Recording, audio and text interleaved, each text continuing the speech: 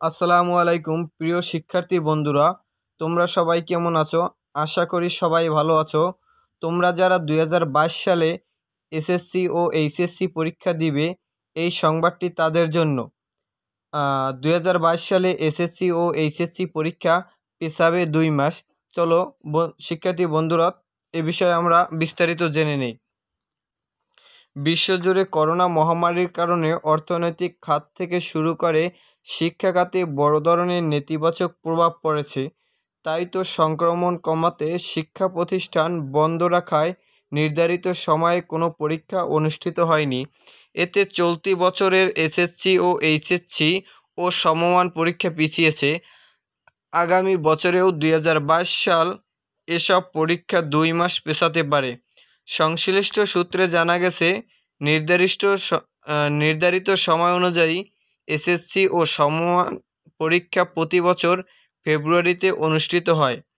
তবে দু হাজার বাইশ সালে এসএসসি ও সমমান পরীক্ষা পিছিয়ে এপ্রিলে অনুষ্ঠিত হতে পারে।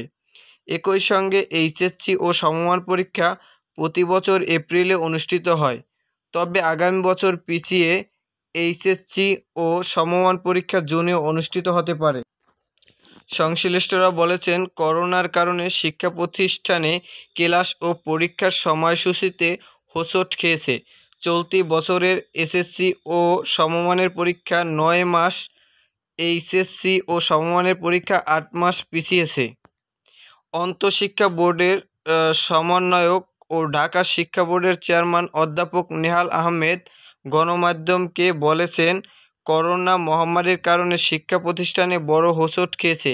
আগামী বছরের এসএসসি ও এইচএসসি পরীক্ষা প্রায় দুই মাস পিছিয়ে যাচ্ছে। কিছুদিনের মধ্যে চূড়ান্ত সিদ্ধান্ত নেওয়া হবে।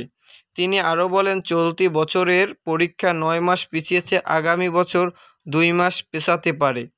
তবে সব কিছু ঠিকঠাক থাকলে দুই হাজার তেইশ সাল থেকে নির্ধারিত সময়ে এসএসসি ও সমমান এবং এইচএসসি ও সমমান পরীক্ষা অনুষ্ঠিত হবে। দেশে প্রথম করোনা রোগী শনাক্ত হয় গত বছরে আট মার্চ এর দশ দিন পর। আঠারো মাস প্রথম করোনায় আক্রান্ত হয় একজনের মৃত্যুর খবর নিশ্চিত করে স্বাস্থ্য অধিদপ্তর। এরপর করোনা সংক্রমণ কমাতে দেশের সব শিক্ষা প্রতিষ্ঠান বন্ধ ঘোষণা করা হয়।